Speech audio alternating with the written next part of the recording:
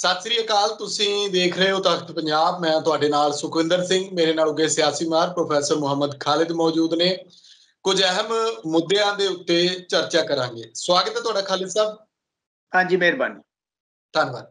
ਖਾਲਿਦ ਸਾਹਿਬ ਵਾਰ-ਵਾਰ ਇਹੀ ਗੱਲ ਹੁੰਦੀ ਹੈ ਕਿ ਕਿਸ ਤਰ੍ਹਾਂ ਪੰਜਾਬ ਦੇ ਵਿੱਚੋਂ ਹੋ ਰਹੇ ਪ੍ਰਵਾਸ ਨੂੰ ਲੈ ਕੇ ਸਰਕਾਰਾਂ ਜਾਂ ਪਰਿਵਾਰ ਚਿੰਤਤ ਨੇ ਜਾਂ ਕਿਵੇਂ ਪੰਜਾਬ ਦੇ ਵਿੱਚ ਜਿਹੜਾ ਵਿਕਾਸ ਰਫਤਾਰ ਫੜੇ ਇੰਡਸਟਰੀ ਲੱਗੇ ਇੰਡਸਟਰੀਅਲਿਸਟ ਜਿਹੜੇ ਉਤਸ਼ਾਹਤ ਹੋਣ, ਸਰਕਾਰ ਇਸ਼ਤਿਹਾਰ ਵੀ ਦਿੰਦੀ ਹੈ ਕਿ ਦੇਖੋ ਜੀ, ਇੰਨੇ ਹਜ਼ਾਰ ਕਰੋੜ ਜਾਂ ਇੰਨੇ ਕਰੋੜ ਦਾ ਇਨਵੈਸਟ ਪੰਜਾਬ ਦੇ ਤਹਿਤ ਅਸੀਂ ਪੰਜਾਬ 'ਚ ਇਨਵੈਸਟ ਕਰਾ ਲਿਆ। ਫੈਕਟਰੀਆਂ ਵਾਲੇ ਤਿਆਰ ਨੇ ਪੰਜਾਬ ਵਿੱਚ ਫੈਕਟਰੀਆਂ ਲਾਉਣ ਦੇ ਲਈ। ਪਰ ਇਹਦੇ ਬਾਵਜੂਦ ਜਦੋਂ ਗੱਲ ਨਿਵੇਸ਼ ਦੀ ਤੁਰਦੀ ਹੈ, ਹੁਣ ਜਿਵੇਂ ਮੁੱਖ ਮੰਤਰੀ ਸਾਹਿਬ ਨੇ ਹੁਣੇ ਕੁਝ ਦਿਨ ਪਹਿਲਾਂ ਐਲਾਨ ਕੀਤਾ ਹੈ ਕਿ ਅਸੀਂ ਹਰੇ ਰੰਗ ਦਾ ਸਟੈਂਪ ਪੇਪਰ ਐਲਾਨਦੇ ਆ ਜਿਹਦੇ ਨਾਲ ਵਪਾਰੀਆਂ ਨੂੰ ਜਾਂ ਇੰਡਸਟਰੀਲਿਸਟ ਜਿਹੜੇ ਨੇ ਉਹਨਾਂ ਨੂੰ ਕਿਸੇ ਕਿਸਮ ਦੀ ਦਿੱਕਤ ਨਹੀਂ ਆਣੀ ਸਾਰੀਆਂ ਐਨਓਸੀ ਵਿੱਚ ਹੀ ਹੁੰਦੀਆਂ ਕਿ ਤੁਸੀਂ ਬਸ ਜਗ੍ਹਾ ਦੱਸੋ ਜ਼ਮੀਨ ਦੱਸੋ ਕੁਝ ਮਹੀਨਿਆਂ ਦੇ ਵਿੱਚ ਵਿੱਚ ਤੁਹਾਨੂੰ ਸਾਰਾ ਕੁਝ ਮੁਕੰਮਲ ਕਰਕੇ ਅਸੀਂ ਦੇ ਦੇਵਾਂਗੇ ਤੁਸੀਂ ਫੈਕਟਰੀ ਸ਼ੁਰੂ ਕਰੋ ਤੇ ਪੰਜਾਬ ਦੇ ਵਿੱਚ ਰੋਜ਼ਗਾਰ ਪੈਦਾ ਕਰੋ ਤੇ ਉਸ ਰੋਜ਼ਗਾਰ ਦੇ ਨਾਲ ਜਿਹੜਾ ਉਹ ਨੌਜਵਾਨ ਜਿਹੜੇ ਨੇ ਉਹ ਜੁੜਨ ਤੇ ਪੰਜਾਬ ਦੇ ਵਿੱਚ ਰੰਗਲਾ ਪੰਜਾਬ ਨਜ਼ਰ ਆਵੇ। ਪਰ ਵੱਡੀ ਗੱਲ ਇਹ ਹੈ ਇਹਦੇ ਵਿੱਚ ਕਿ ਸਰਕਾਰ ਸਹੂਲਤਾਂ ਤਾਂ ਸਾਰੀਆਂ ਦੇਣ ਨੂੰ ਤਿਆਰ ਆ। ਸਰਕਾਰ ਪਹਿਲਾਂ ਵੀ ਕਹਿੰਦੀ ਰਹੀ ਹੈ, ਪਰ ਵਪਾਰੀ ਜਿਹੜੇ ਨੇ, ਉਹ ਯੂਪੀਐਲ ਨੂੰ ਜਾਂ ਹੋਰ ਸੂਬਿਆਂ ਨੂੰ, ਖਾਸ ਕਰ ਯੂਪੀਐਲ ਨੂੰ ਉਤਸ਼ਾਹਤ ਹੁੰਦੇ ਨੇ, ਜਦੋਂ ਪਿੱਛੇ ਵੀ ਇਹ ਗੱਲਾਂ ਤੁਰੀਆਂ ਸੀ। ਤੇ ਨਾਲ ਇਹ ਵੀ ਗੱਲ ਆ ਕਿ ਪੰਜਾਬ ਨੂੰ ਕਿਸ ਕਿਸਮ ਦੀ ਇੰਡਸਟਰੀ ਦੀ ਲੋੜ ਹੈ, ਜਿਹਦੇ ਨਾਲ ਪੰਜਾਬ ਦੇ ਨੌਜਵਾਨਾਂ ਨੂੰ ਵੀ ਰੋਜ਼ਗਾਰ ਮਿਲੇ? ਦੇਖੋ ਇਦਾਂ ਹੈਗਾ ਕਿ ਪਹਿਲੀ ਚੀਜ਼ ਤਾਂ ਹੈਗੀ ਹੈ ਕਿ ਸਾਡੇ ਬੱਚੇ ਬਾਹਰ ਜਾ ਰਹੇ ਹਨ ਔਰ ਜਿਸ ਵੇਲੇ ਇਹ ਇਲੈਕਸ਼ਨ ਹੋਇਆ ਪਿਛਲਾ ਵਿਧਾਨ ਸਭਾ ਦਾ ਉਹਦੇ ਵਿੱਚ ਇਹ ਸੀਗਾ ਕਿ ਅਸੀਂ ਇਸ ਤਰ੍ਹਾਂ ਦਾ ਮਾਹੌਲ ਜਾਂ ਇਸ ਤਰ੍ਹਾਂ ਦੀ ਵਿਵਸਥਾ ਕ੍ਰੀਏਟ ਕਰਾਂਗੇ ਜਿਹਦੇ ਨਾਲ ਬੱਚੇ ਬਾਹਰ ਨਾ ਜਾਣ ਬਲਕਿ ਮੁੜ ਕੇ ਆਉਣ ਵਾਪਸ। ਇਸ ਤਰ੍ਹਾਂ ਦਾ ਅਸੀਂ ਪੰਜਾਬ ਬਣਾਉਣਾ ਚਾਹੁੰਦੇ ਆ ਇਹ ਤੁਹਾਨੂੰ ਯਾਦ ਹੋਊਗਾ ਇਹ ਕੈਂਪੇਨ ਦਾ ਇੱਕ ਜੁਮਲਾ ਹੁੰਦਾ ਸੀਗਾ। ਰਿਵਰਸ ਲੇਕਿਨ ਉਸ ਚੀਜ਼ ਦੇ ਵਿੱਚ ਕਿਤੇ ਠੱਲ ਨਹੀਂ ਪਈ। ਸਾਡੇ ਸਟੇਟ ਦੇ ਵਿੱਚੋਂ ਬ੍ਰੇਨ ਡਰੇਨ ਵੀ ਹੋ ਰਿਹਾ ਹੈ ਔਰ ਪੈਸਾ ਵੀ ਬਾਹਰ ਜਾ ਰਿਹਾ ਹੈ। ਹਜ਼ਾਰਾਂ ਕਰੋੜ ਰੁਪਏ ਬਾਹਰ ਜਾ ਰਿਹਾ ਹੈ ਬੱਚੇ ਲੈ ਜਾ ਰਹੇ ਹਨ ਔਰ ਜਿਹੜੀ ਬੱਚੇ ਬਾਹਰ ਜਾ ਰਹੇ ਹਨ ਉਹਨਾਂ ਦੀ ਭਰਪਾਈ ਯੂਪੀ ਤੇ ਬਿਹਾਰ ਤੋਂ ਹੋ ਰਹੀ ਹੈ। ਔਰ ਪੰਜਾਬ ਦੀ ਡੈਮੋਗ੍ਰਾਫੀ 'ਚ ਬਹੁਤ ਵੱਡੀ ਚੇਂਜ ਆ ਰਹੀ ਹੈ। ਔਰ ਇਹ ਡੈਮੋਗ੍ਰਾਫੀ 'ਚ ਇੰਨੀ ਵੱਡੀ ਚੇਂਜ ਆਏਗੀ ਕਿ ਬੈਠੇ ਬੈਠੇ ਇਹ ਨਾ ਹੋਵੇ ਕਿ ਆਪਾਂ ਪੰਜਾਬੀ ਮਾਈਨੋਰਿਟੀ 'ਚ ਹੋ ਜਾਏ ਇੱਥੇ ਪੰਜਾਬ ਦੇ ਵਿੱਚ ਰਹਿੰਦੇ ਹੋਏ। ਹਾਲਤ ਇੱਥੇ ਤੱਕ ਜਾ ਪਹੁੰਚੀ ਹੈ। ਦੂਸਰੀ ਗੱਲ ਇਹ ਹੈਗੀ ਹੈ ਕਿ ਕਿਆ ਇਸ ਤਰ੍ਹਾਂ ਦੀਆਂ ਸਹੂਲਤਾਂ ਪੈਦਾ ਕੀਤੀਆਂ ਗਈਆਂ? ਹਜੇ ਤੱਕ ਸਾਲ ਲੰਘ ਗਿਆ ਕੋਈ ਇਸ ਤਰ੍ਹਾਂ ਦਾ ਸੰਕੇਤ ਨਹੀਂ ਮਿਲਦਾ ਜਿਹਦੇ ਵਿੱਚ ਆਪਾਂ ਕਹੀਏ ਕਿਤੇ ਠੱਲ ਪੈ ਗਈ ਹੋਵੇ ਲੋਕਾਂ ਦੇ ਬਾਹਰ ਜਾਣ ਦੇ ਵਿੱਚ ਇਸ ਤਰ੍ਹਾਂ ਦੀ ਕੋਈ ਚੀਜ਼ ਨਹੀਂ ਹੈ। ਹੁਣ ਗੱਲ ਹੈਗੀ ਹੈ ਮਸਲਾ ਇੰਡਸਟਰੀ ਦਾ।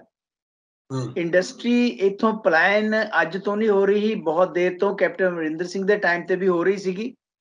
ਕਿਉਂਕਿ ਈਜ਼ ਆਫ ਡੂਇੰਗ ਬਿਜ਼ਨਸ ਜਿਹੜਾ ਹੈ ਨਾ ਵੀ ਕੰਮ ਕਰਨ ਦੇ ਵਿੱਚ ਆਸਾਨੀਆਂ ਪੈਦਾ ਅਸੀਂ ਨਹੀਂ ਕਰ ਸਕੇ ਇੰਡਸਟਰੀਲਿਸਟ ਵਾਸਤੇ।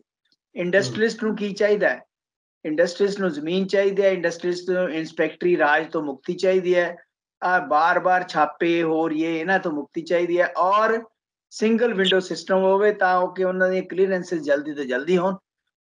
ਲੇਕਿਨ ਅਸੀਂ ਉਹਨਾਂ ਨੂੰ ਇਸ ਤਰ੍ਹਾਂ ਦਾ ਮਾਹੌਲ ਨਹੀਂ ਦੇ ਸਕੇ ਜਿਹਦੀ ਵਜ੍ਹਾ ਕਰਕੇ ਦੂਸਰੇ ਸਟੇਟ ਉਹਦਾ ਫਾਇਦਾ ਉਠਾ ਰਹੇ ਹਨ ਚਾਹੇ ਲੋਕ ਬੱਦੀ ਇੰਡਸਟਰੀ ਲਾ ਰਹੇ ਹੋਣ ਹਿਮਾਚਲ ਦੇ ਵਿੱਚ ਕਿਉਂਕਿ ਉੱਥੇ ਸਬਸਿਡੀਆਂ ਮਿਲਦੀਆਂ ਜਾਂ ਯੂਪੀ ਵੱਲ ਜਾ ਰਹੇ ਹੋਣ ਕਹਿੰਦੇ ਇੱਥੇ ਬੈਟਰ ਹੈਗਾ। ਔਰ ਦੂਸਰੇ ਜਿਹੜੇ ਸਟੇਟ ਹੈ ਉਹ ਸਾਡੇ ਇੰਡਸਟਰੀਸਟਾਂ ਦੇ ਉੱਪਰ ਸਾਡੇ ਕਾਰਪੋਰੇਟ ਦੇ ਉੱਪਰ ਸਮਝ ਲਓ ਇੱਕ ਤਰ੍ਹਾਂ ਉਹਨਾਂ ਨੂੰ ਇਥੋਂ ਲਿਜਾ ਰਹੇ ਔਰ ਅਸੀਂ ਉਹਨੂੰ ਰੋਕ ਨਹੀਂ ਪਾ ਰਹੇ।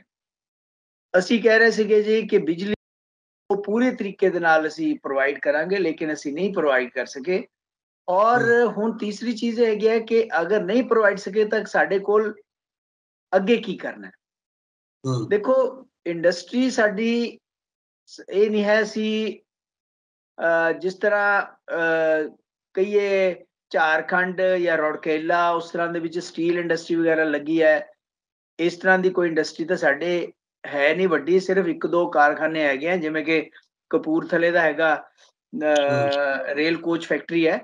ਕੁਝ ਹੀ ਹੈਗੇ ਆ ਅਦਰਵਾਈਜ਼ ਜ਼ਿਆਦਾਤਰ ਸਾਡੀ ਛੋਟੀ ਇੰਡਸਟਰੀ ਹੈ। ਜਿਵੇਂ ਕਿ ਬਟਾਲੇ ਛੋਟੀ ਇੰਡਸਟਰੀ ਹੈ ਗੁਰਾਇਆ ਹੈਗੀ ਹੈ ਛੋਟੀ ਇੰਡਸਟਰੀ ਹੈ। ਲੁਧਿਆਣਾ ਜਿਹੜੀ ਹੈਗੀ ਹੈ ਪਾਰਟਿਕੂਲਰ ਕਿਸਮ ਦੀ ਇੰਡਸਟਰੀ ਹੈ ਸਾਈਕਲਾਂ ਦੀ ਹੈ ਹੋਰ। ਵੱਡੀ ਇੰਡਸਟਰੀ ਇੱਥੇ ਨਹੀਂ ਲੱਗੀ ਨਾ ਹੀ ਸੈਂਟਰ ਗਵਰਨਮੈਂਟ ਨੇ ਕੋਈ ਬਹੁਤ ਵੱਡੀ ਇੰਡਸਟਰੀ ਅਲਾਟ ਕੀਤੀ ਹੈ ਪੰਜਾਬ ਨੂੰ ਪਿਛਲੇ ਇੱਕ ਲੰਬੇ ਸਮੇਂ ਤੋਂ। ਇਹਦੀ ਵਜ੍ਹਾ ਕਰਕੇ ਅ ਸਾਡੇ ਸਾਹਮਣੇ ਸਭ ਤੋਂ ਵੱਡਾ ਕ੍ਰਾਈਸਿਸ ਇਹ ਹੈ ਕਿ ਐਗਰੀਕਲਚਰ ਜਿਹੜੀ ਹੈ ਸਾਡੀ ਜਿਹੜੀ ਸਾਡੀ ਅਰਥ ਵਿਵਸਥਾ ਦਾ ਮੇਨ ਸਟੇ ਹੈ ਉਹ ਇੱਕ ਸੈਚੂਰੇਸ਼ਨ ਪੁਆਇੰਟ ਤੇ ਪਹੁੰਚ ਚੁੱਕਿਆ ਹੈ। ਉਸ ਤੋਂ ਅੱਗੇ ਐਗਰੀਕਲਚਰ ਦਾ ਵਿਕਾਸ ਕਿੰਨਾ ਕੁ ਕਰ ਸਕਦੇ ਆਪਾਂ ਕਿੰਨੀਆਂ ਕੁ ਫਸਲਾਂ ਲੈ ਸਕਦੇ ਆਪਾਂ ਸਾਡੀ ਜ਼ਮੀਨ ਜਵਾਬ ਦੇ ਚੁੱਕੀ ਹੈ ਸਾਡੇ ਕੋਲ ਪਾਣੀ ਹੈ ਨਹੀਂ ਪਾਣੀ ਬਹੁਤ ਨੀਚੇ ਜਾ ਚੁੱਕਿਆ ਹੈ ਧਰਤੀ ਦੇ ਵਿੱਚ ਕੰਟੈਮੀਨੇਟਿਡ ਹੈ ਵਾਟਰ ਉਹ ਸਾਰੀਆਂ ਚੀਜ਼ਾਂ ਦੀ ਵਜ੍ਹਾ ਕਰਕੇ ਸਾਨੂੰ ਨਵੀਆਂ ਚੀਜ਼ਾਂ ਸੋਚਣੀਆਂ ਪੈਣਗੀਆਂ, ਨਵੀਂ ਇੰਡਸਟਰੀ ਸੋਚਣੀ ਪਏਗੀ। ਫੋਰ ਐਗਜ਼ਾਮਪਲ ਵੇਰਕਾ ਤੇ ਇਲਾਵਾ ਹੁਣ ਅਮੂਲ ਵਗੈਰਾ ਵੀ ਇੱਥੇ ਆ ਰਿਹਾ, ਕਿਆ ਅਸੀਂ dairy based industry poultry industry ਇਹਨਾਂ ਸਾਰੀਆਂ ਚੀਜ਼ਾਂ ਦੇ ਵਿੱਚ ਕਿਤਨਾ ਕਿਤੇ ਹੋਰ ਅੱਗੇ ਵੱਧ ਕੇ ਹੋਰ ਇੰਡਸਟਰੀ ਲਾ ਸਕਦੇ ਹਾਂ। ਕਿਆ ਉਹ ਇੰਡਸਟਰੀ ਜਿਹੜੀ ਕਿ ਸਾਡੀ ਆਪਣੀ ਉਪਜ ਦੇ ਉੱਪਰ ਆਧਾਰਿਤ ਹੋਵੇ ਉਹਨਾਂ ਨੂੰ ਅਸੀਂ ਐਕਸਪਲੋਰ ਕਰ ਸਕਦੇ ਹਾਂ ਇਹਦੇ ਬਾਰੇ ਕਿਆ ਕਾਰਪੋਰੇਟ ਨੂੰ ਅਪਰੋਚ ਕੀਤਾ ਗਿਆ ਕਿਆ ਇੰਡਸਟਰੀਲਿਸਟ ਜਿਹੜੇ ਹੈਗੇ ਆ ਇਹਦੇ ਵਿੱਚ ਪੈਸਾ ਲਾਉਣ ਨੂੰ ਤਿਆਰ ਹੋਏ ਆ। ਇਹਦੇ ਉੱਪਰ ਸਰਕਾਰ ਨੇ ਕੀ ਕੀਤਾ? ਇੱਕ ਵੱਡਾ ਕੁਐਸਚਨ ਮਾਰਕ ਵੀ ਹੈ। ਔਰ ਸਾਡੇ ਵਾਸਤੇ ਨਵੀਆਂ ਚੀਜ਼ਾਂ ਸੋਚਣ ਵਾਸਤੇ ਇੱਕ ਚੈਲੰਜ ਵੀ ਹੈ। ਦੇਖੋ ਜਿੰਨੇ ਵੀ ਸਾਡੇ ਇੰਡਸਟਰੀ ਇੰਡਸਟਰੀਅਲ ਸੈਕਟਰੀ ਸੈਕਟਰੀ ਹੈ ਜਾਂ ਸਮਾਲ ਸਕੇਲ ਇੰਡਸਟਰੀ ਹੈ ਐਸਐਮਐਸਐਮਈ ਹੈ ਜਾਂ ਟੈਕਨੀਕਲ ਮਹਿਕਮੇ ਹੈਗੀਆਂ ਉਹਨਾਂ ਸਾਰਿਆਂ ਨੂੰ ਬੈਠ ਕੇ ਇਹ ਦੇਖਣਾ ਚਾਹੀਦਾ ਹੈ ਕਿ ਸਾਡੀ ਇੰਡਸਟਰੀ ਸਾਡੀ ਐਗਰੀਕਲਚਰ ਦੇ ਉੱਪਰ ਆਧਾਰਿਤ ਕਿਹੜੀਆਂ-ਕਿਹੜੀਆਂ ਇੰਡਸਟਰੀ ਅਸੀਂ ਇੱਥੇ ਪ੍ਰਫੁੱਲਿਤ ਕਰ ਸਕਦੇ ਹਾਂ। ਤਾਂ ਕਿ ਅਸੀਂ ਉਹਨਾਂ ਇੰਡਸਟਰੀ ਨੂੰ ਇੱਥੇ ਲਾਈਏ ਔਰ ਬਾਹਰ ਜਾਣ ਤੋਂ ਲੋਕ ਇੰਡਸਟਰੀ ਲਾਉਣ ਤੋਂ ਬਚਣ ਔਰ ਇੱਥੇ ਰੋਜ਼ਗਾਰ ਹੋਵੇ ਲੋਕਾਂ ਨੂੰ ਰੋਜ਼ਗਾਰ ਮਿਲੇ ਤਾਂ ਕਿ ਜਿਹੜਾ ਬਾਹਰ ਲੋਕ ਜਾ ਰਹੇ ਹਨ ਬੱਚੇ ਜਾ ਰਹੇ ਹਨ ਸਾਡੇ ਉਹਨਾਂ ਸਾਰਿਆਂ ਨੂੰ ਉਹਨਾਂ ਉਸ ਨੂੰ ਵੀ ਠੱਲ ਪਵੇ। ਮੈਂ ਤੁਹਾਨੂੰ ਦੱਸਦਾ ਕਿ ਬੱਚਾ 10ਵੀਂ ਤੇ ਬਾਅਦ ਉਹ ਕਹਿੰਦਾ ਮੈਨੇ ਹੋ ਕੁਝ ਕਰਨਾ ਹੀ ਨਹੀਂ ਆਇਲਟ ਕਰਨਾ। ਔਰ ਆਇਲਟਸ ਦੀ ਇੰਡਸਟਰੀ ਸਾਡੇ 3 3.5000 ਕਰੋੜ ਦੀ ਹੋ ਚੁੱਕੀ ਹੈ। ਛੋਟੇ ਛੋਟੇ ਕਸਬਿਆਂ 'ਚ ਛੋਟੇ ਛੋਟੇ ਪਿੰਡਾਂ ਦੇ ਵਿੱਚ ਵੀ ਤੁਸੀਂ ਤੁਸੀਂ ਆਇਲਟ ਦੇ ਕੋਚਿੰਗ ਸੈਂਟਰ ਦੇਖੋਗੇ। ਉਹ ਬੰਦੇ ਜਿਨ੍ਹਾਂ ਨੇ ਕਦੇ ਖੁਦ ਆਇਲਟ ਕਲੀਅਰ ਨਹੀਂ ਕੀਤਾ ਉਹ ਬੈਠੇ ਆ ਉੱਥੇ ਆਪਣੇ ਉਹ ਲਾਈ ਦੁਕਾਨਾਂ ਖੋਲੀ ਬੈਠੇ ਆ। ਔਰ ਲੋਕ ਵਿਚਾਰੇ ਜਿਨ੍ਹਾਂ ਨੂੰ ਪਤਾ ਨਹੀਂ, ਆਇਲਟ ਪੜ੍ਹ ਕੇ ਬਸ ਉਧਰ ਤੁਰ ਪੰਦੇ ਆ। ਔਰ ਹਜ਼ਾਰਾਂ ਕਰੋੜ ਰੁਪਇਆ ਇਸ ਦੇ ਵਿੱਚ ਵੀ ਉਹਨਾਂ ਦਾ ਬਰਬਾਦ ਹੋ ਰਿਹਾ। ਵੱਡੇ ਸੈਂਟਰਾਂ 'ਚ ਪਟਿਆਲਾ, ਲੁਧਿਆਣਾ, ਜਲੰਧਰ, ਅੰਮ੍ਰਿਤਸਰ, ਚੰਡੀਗੜ੍ਹ। ਤੁਸੀਂ ਦੇਖੋਗੇ ਬੱਚਿਆਂ ਦੀਆਂ ਲਾਈਨਾਂ ਲੱਗੀਆਂ ਹੋਈਆਂ। ਪੜ੍ਹਨਾ ਨਹੀਂ ਹੈ ਬੀਏ ਨਹੀਂ ਕਰਨੀ। ਉਹਨਾਂ ਨੇ ਬੀਐਸਸੀ ਨਹੀਂ ਕਰਨੀ। ਉਹ ਇੰਜੀਨੀਅਰ ਨਹੀਂ ਬਣਨਾ ਚਾਹੁੰਦੇ। ਉਹ ਡਾਕਟਰ ਨਹੀਂ ਬਣਨਾ ਚਾਹੁੰਦੇ। ਉਹ ਕਹਿੰਦੇ ਆਇਲਟ ਕਰਨਾ ਤੇ ਕੈਨੇਡਾ ਜਾਣਾ ਉਹਨਾਂ ਨੂੰ ਸੋਚਦਾ ਹੈ ਕਿ ਉੱਥੇ ਸਾਨੂੰ ਬਹੁਤ ਹੀ ਜ਼ਿਆਦਾ ਫੈਸਿਲਿਟੀਆਂ ਅਵੇਲੇਬਲ ਹੈ। ਇਹ ਇੱਕ ਜਿਹੜਾ ਸਿਚੁਏਸ਼ਨ 'ਚ ਆਪਾਂ ਫਸੇ ਹੋਏ ਆ ਇਹ ਆਪਾਂ ਨੂੰ ਸਾਰਿਆਂ ਨੂੰ ਦੇ ਵਾਸਤੇ ਸੋਚਣ ਦਾ ਵਿਸ਼ਾ ਹੈ। ਬਿਲਕੁਲ। ਜਿਵੇਂ ਕਰ ਕਰ ਰਹੇ ਕਿ ਕੇਂਦਰ ਸਰਕਾਰ ਤੋਂ ਸਹਿਯੋਗ ਦੀ ਲੋੜ ਹੈ ਜਾਂ ਕੋਈ ਵੱਡੀ ਇੰਡਸਟਰੀ ਨਹੀਂ ਆਈ ਪਿੱਛੇ ਜੇ ਮੱਤੇਵਾੜਾ ਜੰਗਲ ਨੂੰ ਲੈ ਕੇ ਕਾਫੀ ਰੌਲਾ ਪਿਆ ਕਿ ਜੀ ਟੈਕਸਟਾਈਲ ਇੰਡਸਟਰੀ ਪੰਜਾਬ ਦੇ ਹਿੱਸੇ ਆਈ ਹੈ ਉਹ ਮੱਤੇਵਾੜਾ ਜੰਗਲ ਦੀ ਜ਼ਮੀਨ ਕਰਕੇ ਰੌਲਾ ਪਿਆ ਫਿਰ ਜ਼ਮੀਨ ਬਦਲਣ ਦੀ ਗੱਲ ਤੁਰੀ, ਫਿਰ ਉਹਦੇ ਉੱਤੇ ਫਿਰ ਅੱਗੋਂ ਜਾ ਕੇ ਹੋਰ ਸਵਾਲ ਖੜੇ ਹੁੰਦੇ ਨੇ ਕਿ ਕਿਸ ਕਿਸਮ ਦੀ ਇੰਡਸਟਰੀ ਮਤਲਬ ਕਿ ਪੰਜਾਬ ਪ੍ਰਫੁੱਲਿਤ ਧਰਤੀ ਆ, ਪੰਜਾਬ ਤੇ ਜੋ ਬੀਜੋਗੇ, ਜਿਵੇਂ ਮੁੱਖ ਮੰਤਰੀ ਭਗਵੰਤ ਮਾਨ ਕਹਿੰਦੇ ਨੇ ਕਿ ਉਹ ਉੱਗ ਪਵੇਗਾ, ਤੁਸੀਂ ਇੱਕ ਵਾਰ ਮੌਕਾ ਜ਼ਰੂਰ ਦਿਓ। ਲੋਕ ਜਿਹੜੇ ਨੇ ਵਿਦੇਸ਼ਾਂ 'ਚ ਰਹਿੰਦੇ ਐਨ ਆਰ ਆਈ ਪੰਜਾਬੀ ਨੇ, ਉਹ ਉੱਥੇ ਬਹੁਤ ਵੱਡੇ ਬਿਜ਼ਨਸ ਖੜੇ ਕਰੀ ਬੈਠੇ ਨੇ। ਉਹ ਚਾਹੁੰਦੇ ਨੇ ਕਿ ਅਸੀਂ ਪੰਜਾਬ ਵਿੱਚ ਇਨਵੈਸਟ ਕਰੀਏ। ਪਰ ਇੱਥੇ ਇੱਕ ਜਿਵੇਂ ਤੁਸੀਂ ਕਿਹਾ ਕਿ ਸਰਕਾਰ ਤੇ ਅਫਸਰਸ਼ਾਹੀ ਦਾ ਜਿਹੜਾ ਰੋਲ ਹੈ, ਉਹ ਉਹਨਾਂ ਨੂੰ ਫਿੱਟ ਨਹੀਂ ਬੈਠਾ ਪਿਛਲੇ ਸਮਿਆਂ ਦੇ ਵਿੱਚ। ਜੇ ਹੁਣ ਦੀ ਸਰਕਾਰ ਉਹਨਾਂ ਨੂੰ ਕੋਈ ਇਹੋ ਜਿਹੇ ਭਰੋਸੇ ਦੇ ਵਿੱਚ ਲੈ ਕੇ ਆਵੇ, ਕੇਂਦਰ ਸਰਕਾਰ ਨੂੰ ਭਰੋਸੇ ਦੇ ਵਿੱਚ ਲਵੇ, ਦੀ ਗੱਲ ਜਦੋਂ ਆਉਂਦੀ ਹੈ ਜੀ ਜਦੋਂ ਜ਼ਮੀਨ ਦੀ ਗੱਲ ਆਉਂਦੀ ਹੈ ਜਦੋਂ ਇਹ ਗੱਲ ਇਹ ਵੀ ਨਾਲ ਗੱਲ ਤੁਰਦੀ ਹੈ ਕਿਉਂਕਿ ਮੈਂ ਕਈ ਸਵਾਲ ਇਕੱਠੇ ਕਰ ਰਿਹਾ ਇੰਡਸਟਰੀ ਨਾਲ ਜਦੋਂ ਜੁੜਦੇ ਨੇ ਕਿ ਇੱਕ ਤਾਂ ਉਹ ਕਿ ਮੱਤੇ ਵਾਲਾ ਵਰਗੀ ਵਗੈਰਾ ਦੀ ਗੱਲ ਤੁਰੀ ਦੂਜਾ ਇਹ ਕਿ ਵਾਤਾਵਰਣ ਦੇ ਪੱਖੋਂ ਵੀ ਜਿਵੇਂ ਹੁਣ ਫੈਕਟਰੀ ਦੀ ਗੱਲ ਤੁਰਦੀ ਪਾਣੀ ਪ੍ਰਦੂਸ਼ਿਤ ਹੋਣਾ ਇਹ ਸਾਰੀਆਂ ਵੀ ਨਾਲ ਨਾਲ ਗੱਲਾਂ ਤੁਰਦੀਆਂ ਨੇ। ਦੇਖੋ ਇਦਾਂ ਹੈਗਾ ਕਿ ਜਿਸ ਵੇਲੇ ਤੁਸੀਂ ਆਪਣਾ ਇੰਡਸਟਰੀ ਲਾਉਣੇ ਹੋ ਹੂੰ। ਕਿਸੇ ਵੀ ਸਟੇਟ ਦੇ ਵਿੱਚ ਤਾਂ ਉਹਦੀ ਸੋਸ਼ਲ ਕਾਸਟ ਕੀ ਹੋਏਗੀ ਤੇ ਉਹਦੀ এনवायरमेंटल ਕਾਸਟ ਹੋਏ ਕੀ ਹੋਏਗੀ ਉਹਦੀ ਅਸੈਸਮੈਂਟ ਜ਼ਰੂਰ ਕਰਦੀ ਕਰਨੀ ਚਾਹੀਦੀ ਹੈ ਵੀ ਔਰ ਸਰਕਾਰਾਂ ਕਰਦੀਆਂ ਵੀ ਆ ਅੰਨੇਵਾ ਇੰਡਸਟਰੀ ਲਾਈ ਜਾਣੀ ਜੰਗਲਾਤ ਸਾਫ਼ ਕਰਕੇ ਇੰਡਸਟਰੀ ਲਾਈ ਜਾਣੀ ਐਗਰੀਕਲਚਰ ਲੈਂਡ ਦੇ ਉੱਪਰ ਇੰਡਸਟਰੀ ਲਾਈ ਜਾਣੀ ਉਹ ਕੋਈ ਬਹੁਤ ਹੀ ਸਿਆਣੀ ਗੱਲ ਨਹੀਂ ਹੈ। ਜਦ ਤੱਕ ਕਿ ਸਾਨੂੰ ਇਹ ਨਾ ਪਤਾ ਹੋਵੇ ਕਿ ਉਹਦੀ ਸੋਸ਼ਲ ਕਾਸਟ ਕੀ ਹੋਏਗੀ ਤੁਹਾਡੀ এনवायरमेंटਲ ਕਾਸਟ ਕੀ ਹੋਏਗੀ। ਪੰਜਾਬ ਦੇ ਵਿੱਚ ਅਗਰ ਆਪਾਂ ਦੇਖੀਏ ਪਹਿਲਾਂ ਹੀ ਗ੍ਰੀਨ ਜਿਹੜਾ ਕਵਰ ਹੈ ਉਹ ਬਹੁਤ ਜ਼ਿਆਦਾ ਘੱਟ ਹੈ। ਜੰਗਲਾਤ ਨੌਜ ਤਾਂ ਕੋਈ ਚੀਜ਼ ਹੈ ਹੀ ਨਹੀਂ। ਜੰਗਲਾਤ ਦਾ ਮਹਿਕਮਾ ਤਾਂ ਬਸ ਦਫ਼ਤਰਾਂ ਤੱਕ ਹੀ ਸੀਮਤ ਹੈ। ਅਦਰਵਾਈਜ਼ ਕਿਹੜੇ ਜੰਗਲ ਰਹਿ ਗਏ ਆ ਪੰਜਾਬ ਦੇ ਵਿੱਚ? ਤੇ ਉਹ ਅਗਰ ਆਪਾਂ ਉਸ ਚੀਜ਼ ਨੂੰ ਦੇਖੀਏ ਤਾਂ ਜਿੰਨੇ ਵੀ ਜੰਗਲ ਹੈਗੇ ਆ ਜਿੰਨੇ ਵੀ ਬੀੜ ਪਏ ਆ ਉਹਨਾਂ ਨੂੰ ਅਗਰ ਤੁਸੀਂ ਕਰਨਾ ਵੀ ਹੈ ਤੇ ਵੀ ਦੇਖਣਾ ਪਏਗਾ ਕਿਹੜੀ ਇੰਡਸਟਰੀ ਸਾਨੂੰ ਫਿੱਟ ਬੈਠਦੀ ਹੈ। ਨੰਬਰ 1 ਦੂਸਰੀ ਗੱਲ ਇਹ ਹੈਗੀ ਹੈ ਕਿ ਇੰਡਸਟਰੀਲਿਸਟਾਂ ਨਾਲ ਬੈਠ ਕੇ ਵੀ ਇਹ ਗੱਲ ਕਰਨੀ ਪੈਗੀ ਸਰਕਾਰ ਨੂੰ ਕਿ ਭਾਈ ਆਹ ਸਿਚੁਏਸ਼ਨ ਦੇ ਵਿੱਚ ਕਿਸ ਕਿਸ ਕਿਸ ਪ੍ਰਕਾਰ ਦੀ ਇੰਡਸਟਰੀ ਦੇ ਵਿੱਚ ਤੁਸੀਂ ਇਨਵੈਸਟਮੈਂਟ ਕਰਨਾ ਚਾਹੋਗੇ ਜਾਂ ਕਰ ਸਕਦੇ ਹੋ? ਸਾਡੀ ਰਿਕੁਆਇਰਮੈਂਟ ਇਹ ਹੈ।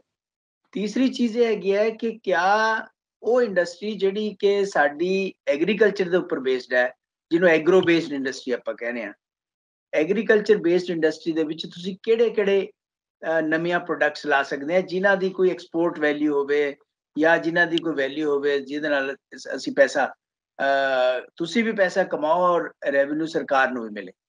ਇਸ ਚੀਜ਼ ਦੇ ਉੱਪਰ ਇੱਕ ਇੰਟੈਂਸਿਵ ਸਟੱਡੀ ਵੀ ਹੋਣੀ ਹੋਈਆਂ ਵੀ ਹੋਣਗੀਆਂ। ਉਹਦੀ ਇੰਪਲੀਮੈਂਟੇਸ਼ਨ ਦੀ ਲੋੜ ਹੈ। ਅਦਰ ਨਹੀਂ ਹੋਈ ਤਾਂ ਸਰਕਾਰ ਨੂੰ ਕਾਰਪੋਰੇਟ ਨੂੰ ਬਿਊਰੋਕ੍ਰੇਸੀ ਨੂੰ ਮਿਲ ਬੈਠ ਕੇ ਇੰਡਸਟਰੀਸਟਾਂ ਨੂੰ ਮਿਲ ਬੈਠ ਕੇ ਇਹਦੇ ਬਾਰੇ ਧਿਆਨ ਨਾਲ ਉਹ ਕਰਨਾ ਚਾਹੀਦਾ। ਅਦਰਵਾਈਜ਼ ਅਗਰ ਆਪਾਂ ਸੋਚੀਏ ਕਿਉਂਕਿ ਡਿਵੈਲਪਮੈਂਟ ਦੀ ਕਾਸਟ ਬਹੁਤ ਹੁੰਦੀ ਹੈ। ਤੁਸੀਂ ਇਹ ਦੇਖੋ ਜਿੰਨੀਆਂ ਕਿੰਨੀਆਂ ਜ਼ਮੀਨਾਂ ਸੜਕਾਂ ਦੇ ਵਿੱਚ ਆ ਗਈਆਂ ਵੱਡੇ ਵੱਡੇ ਹਾਈਵੇ ਬਣ ਰਹੇ ਆ ਹਜ਼ਾਰਾਂ ਏਕੜ ਐਗਰੀਕਲਚਰ ਨਿਆਈ ਦੀ ਜ਼ਮੀਨ ਜਿਹੜੀ ਹੈਗੀ ਹੈ ਜਿੱਥੇ ਕਿੰਨੀ ਫਸਲ ਹੁੰਦੀ ਹੈ ਉਹ ਸਾਰੀ ਜਿਹੜੀ ਹੈਗੀ ਹੈ ਉਹ ਉਹਨਾਂ ਚਲੇਗੀ ਸੜਕਾਂ ਚਲੇਗੀ ਇਸੇ ਤਰੀਕੇ ਦੇ ਨਾਲ ਅਗਰ ਤੁਸੀਂ ਇੰਡਸਟਰੀ ਲਾਓਗੇ ਕੱਲ ਨੂੰ ਜੀ ਵੱਡੇ ਵੱਡੇ 에어ਪੋਰਟ ਵੀ ਬਣਾਤੇ ਚਲੋ ਬਣਾਤੇ ਲੇਕਿਨ ਇੱਕ ਜਿਹਨੂੰ ਕਹਿੰਦੇ ਬੈਲੈਂਸਡ ਗਰੋਥ ਹੋਣੀ ਚਾਹੀਦੀ ਹੈ। ਔਰ ਸਸਟੇਨੇਬਲ ਡਿਵੈਲਪਮੈਂਟ ਹੋਣੀ ਚਾਹੀਦੀ ਹੈ ਯਾਨੀ ਕਿ ਡਿਵੈਲਪਮੈਂਟ ਇਸ ਤਰ੍ਹਾਂ ਦੀ ਹੋਵੇ ਕਿ ਅੱਗੇ ਵਾਸਤੇ ਵੀ ਰਾਹ ਖੁੱਲੇ ਲੈਣ ਤਾਂ ਕਿ ਅਸੀਂ ਇਹ ਇਕੱਲੇ ਨਹੀਂ ਅਸੀਂ ਲਾਸਟ ਜਨਰੇਸ਼ਨ ਨਹੀਂ ਹੈ। ਬਲਕਿ ਸਾਡੇ ਆਉਣ ਵਾਲੀਆਂ ਜਨਰੇਸ਼ਨ ਜਿਹੜੀਆਂ ਹੈਗੀਆਂ ਉਹਨਾਂ ਵਾਸਤੇ ਵੀ ਕੁਝ ਛੱਡ ਕੇ ਜਾਣਾ ਸਾਡਾ ਉਨਾ ਹੀ ਫਰਜ਼ ਹੈ। ਜਿੰਨਾ ਸਾਡੇ ਵੱਡੇ ਵਡੇਰੇ ਸਾਡੇ ਵਾਸਤੇ ਛੱਡ ਗਏ। ਇਸ ਕਰਕੇ ਇਹ ਚੀਜ਼ਾਂ ਨੂੰ ਅਸੈਸ ਕਰਕੇ ਹੀ ਇੰਡਸਟਰੀਲਾਈਜੇਸ਼ਨ ਜਾਂ ਡਿਵੈਲਪਮੈਂਟ ਕਰਨੀ ਚਾਹੀਦੀ ਹੈ। ਅੰਨੇਵਾ ਡਿਵੈਲਪਮੈਂਟ ਦੀ ਹਿਊਮਨ ਕਾਸਟ ਜ਼ਰੂਰ ਵੈਲਿਊ ਕਰਨੀ ਚਾਹੀਦੀ ਜਿੱਥੇ ਤੱਕ ਗੱਲ ਇਸ ਨੂੰ ਕਿਵੇਂ ਭਰੋਸੇ ਲੈਣਾ ਦੇ ਥਰੂ ਇਨਵੈਸਟ ਪੰਜਾਬ ਦੀ ਗੱਲ ਤੁਰਦੀ ਆ ਤਾਂ ਉਹ ਵੀ ਪੰਜਾਬ ਨੂੰ ਚਾਹੁੰਦੇ ਨੇ ਕਿ ਅਸੀਂ ਇੱਥੇ ਆਪਣਾ ਪੈਸਾ ਲਾਈਏ ਜੋ ਆਪਣੇ ਪਿੰਡਾਂ ਨੂੰ ਪ੍ਰਫੁੱਲਤ ਕਰ ਸਕਦੇ ਨੇ ਤਾਂ ਪੰਜਾਬ ਦੇ ਵਿੱਚ ਵੀ ਕੋਈ ਇਹੋ ਜਿਹੇ ਪ੍ਰੋਜੈਕਟ ਛੇੜ ਸਕਦੇ ਨੇ ਪਰ ਉਹਨਾਂ ਦਾ ਯਕੀਨ ਜਾਂ ਨਹੀਂ ਵੱਜਦਾ ਇੱਥੇ ਸਰਕਾਰਾਂ ਤੇ ਅਫਸਰਸ਼ਾਹੀ ਦੇ ਉੱਤੇ ਦੇਖੋ ਯਕੀਨ ਤਾਂ ਖੈਰ ਜਿਹੜੀ ਪੁਰਾਣੀ ਇੰਡਸਟਰੀ ਲੱਗੀ ਹੈ ਉਹ ਤਾਂ ਕੰਮ ਕਰ ਰਹੀ ਹੈ ਲੇਕਿਨ ਉਹਨਾਂ ਵਿੱਚੋਂ ਕਈ ਵੀ ਜਿਵੇਂ ਕਿ ਸਾਈਕਲ ਇੰਡਸਟਰੀ ਯੂਪੀ ਚ ਚਲੀ ਗਈ ਹੈ ਕੁਝ ਰੀਸੈਂਟਲੀ ਤਾਂ ਇਹਦਾ ਮਤਲਬ ਹੈਗਾ ਕਿ ਉਹਨਾਂ ਨੂੰ ਇੱਥੇ ਐਕਸਪੈਂਸ਼ਨ ਦਾ ਕੋਈ ਸਕੋਪ ਨਹੀਂ ਲੱਗ ਰਿਹਾ। ਉਹਦੇ ਉਹਦੀ ਵਜ੍ਹਾ ਮੇਨ ਇਹੀ ਹੋ ਸਕਦੀ ਹੈ ਕਿ ਸਰਕਾਰ ਉਹਨਾਂ ਨੂੰ ਭਰੋਸਾ ਦਿਲਾਉਣ ਦੇ ਵਿੱਚ ਕਾਮਯਾਬ ਨਹੀਂ ਹੋਈ। ਜਾਂ ਸਰਕਾਰ ਨੇ ਕੋਈ ਉਪਰਾਲੇ ਹੀ ਨਹੀਂ ਕੀਤੇ। ਉਹਨਾਂ ਨੂੰ ਇੱਥੇ ਰੱਖਣ ਦੀ। ਜਿਹਦੀ ਵਜ੍ਹਾ ਕਰਕੇ ਉਹ ਕਹਿੰਦੇ, ਠੀਕ ਹੈ ਜੀ, ਜਾਂਦਾ ਚਲੇ ਜਾਓ। ਅਗਰ ਇਸ ਤਰ੍ਹਾਂ ਦੀ ਹੈ ਤਾਂ ਕੱਲ ਨੂੰ ਦੂਸਰੇ ਚਲੇ ਜਾਣਗੇ, ਤੀਸਰੇ ਚਲੇ ਜਾਣਗੇ। ਅਗਰ ਤੁਸੀਂ ਪ੍ਰੋਪਰ ਪਾਣੀ ਦੀ ਸਪਲਾਈ ਬਿਜਲੀ ਦੀ ਸਪਲਾਈ ਔਰ ਕਮਿਊਨੀਕੇਸ਼ਨ ਤੇ ਟਰਾਂਸਪੋਰਟੇਸ਼ਨ ਨੈਟਵਰਕ ਜਿਹੜਾ ਹੈਗਾ, ਉਹ ਪ੍ਰੋਪਰਲੀ ਮੇਨਟੇਨ ਰੱਖੋਗੇ, ਤਾਂ ਇੰਡਸਟਰੀ ਆਏਗੀ। ਇੰਡਸਟਰੀ ਜਿਹੜੀ ਹੈਗੀ ਹੈ ਅਦਰਵਾਈਜ਼ ਉਹਨਾਂ ਨੂੰ ਉੱਥੇ ਜਾਣਾ ਪਊਗਾ ਜਿੱਥੇ ਉਹਨਾਂ ਨੂੰ ਬੈਟਰ ਫੈਸਿਲਿਟੀਆਂ ਅਵੇਲੇਬਲ ਹੈ। ਜਾਂ ਉਹਨਾਂ ਨੂੰ ਕਹੋ ਕੋਈ ਕੋਈ ਸੁਵਿਧਾਵਾਂ ਤਾਂ ਦੋਗੇ ਨਾ, ਕੋਈ ਸਬਸਿਡੀ ਦੋਗੇ ਕੁਝ ਤਾਂ ਕਰੋਗੇ। ਅਗਰ ਤੁਸੀਂ ਕਹੋ ਕਿ ਠੀਕ ਹੈ ਜੀ ਅਸੀਂ ਕਰਨਾ ਵੀ ਕੁਝ ਨਹੀਂ, ਔਰ ਤੁਸੀਂ ਐਸੇ ਹਾਲਾਤ ਦੇ ਵਿੱਚੋਂ ਕਰੋ ਤਾਂ ਇੰਡਸਟਰੀਲਿਸਟ ਉੱਥੇ ਜਾਏਗਾ ਜਿੱਥੇ ਉਹ ਚਾਰ ਪੈਸੇ ਜ਼ਿਆਦਾ ਕਮਾ ਸਕਦਾ ਹੈ। ਅੱਜ ਕੱਲ ਤਾਂ ਇੰਟਰਨੈਟ ਦਾ ਦੌਰ ਹੈ ਤੁਸੀਂ ਲੁਧਿਆਣੇ 'ਚ ਬੈਠ ਕੇ ਚਾਹੇ ਮਹਾਰਾਸ਼ਟਰ ਦੇ ਵਿੱਚ ਸਾਰੀ ਇੰਡਸਟਰੀ ਨੂੰ ਕੰਟਰੋਲ ਕਰੀ ਚੱਲੋ, ਚਾਹੇ ਕਿਤੇ ਮਰਜ਼ੀ ਕਰੀ ਚੱਲੋ, ਇਹ ਤਾਂ ਨਹੀਂ ਆ ਵੀ ਮਾਲਕ ਨੇ ਵਿੱਚ ਬੈਠ ਕੇ ਸਾਰਾ ਕੁਝ ਕਰਨਾ। ਹਰ ਚੀਜ਼ ਅੱਜ ਤਾਂ ਅੱਜ ਅੱਜਕੱਲ ਤਾਂ ਹੁੰਦੀ ਹੈ, ਸਾਰੇ ਅਕਾਊਂਟਸ ਸਾਰਾ ਕੁਝ ਉੱਥੇ ਹੁੰਦਾ ਆਪਾਂ ਦੇਖਦੇ ਆ ਕਿੰਨੇ ਇੰਸਟੀਟਿਊਸ਼ਨ ਬੰਬੇ ਤੋਂ ਕੰਮ ਕਰ ਰਹੇ ਆ EMPLOYEE ਸਾਰੇ ਚੰਡੀਗੜ੍ਹ ਕੰਮ ਕਰ ਰਹੇ ਆ ਪਟਿਆਲੇ ਕੰਮ ਕਰ ਰਹੇ ਆ ਲੇਕਿਨ ਉਹਨਾਂ ਪਰ ਪੂਰਾ ਕੰਟਰੋਲ ਵੀ ਹੈ।